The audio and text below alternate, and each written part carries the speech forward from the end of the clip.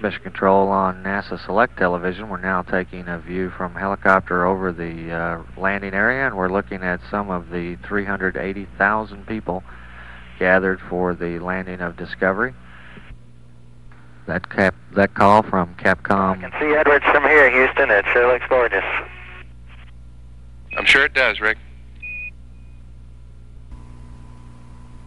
We've now acquired a signal, a video signal from Vandenberg of Discovery as she passes over the California coastline. Discovery at 101,000 feet, velocity 3,700 feet per second, descending at a rate of 230 feet per second. Discovery now coming out of 40,000 feet, velocity 871 feet per second. Discovery, Houston, recommend uh, vector transfer to the BFS. Discovery, Houston, on centerline, on glide slope. Winds are calm. Looks real pretty.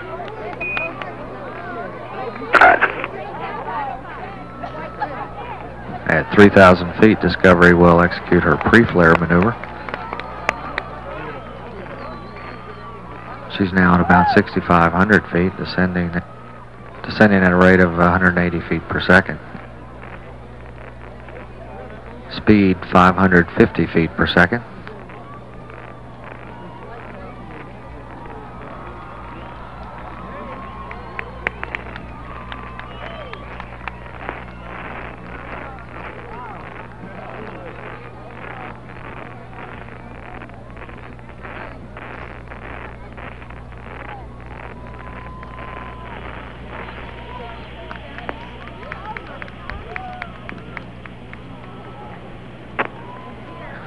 Gear down.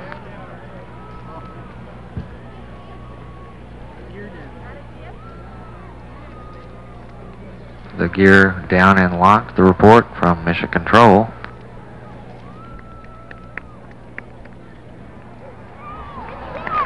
Main gear touchdown. Commander Hauck now rotating the nose down, standing by for nose gear and touchdown.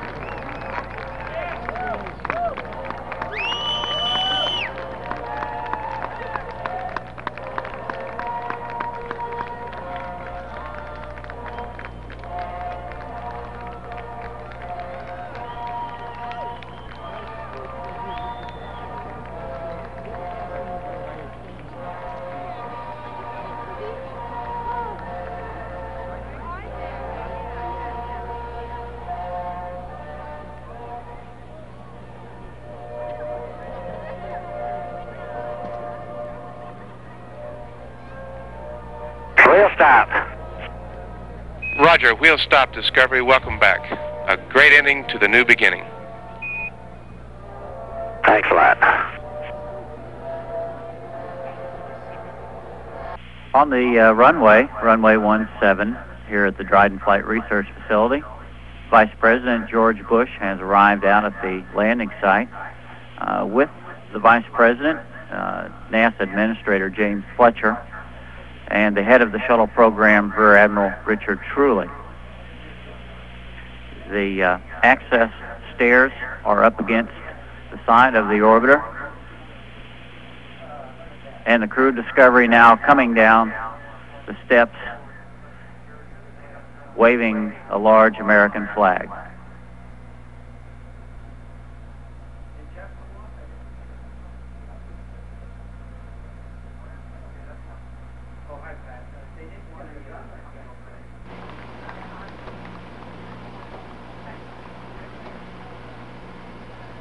Commander Rick House, being greeted by Dick Truly and NASA Administrator Fletcher.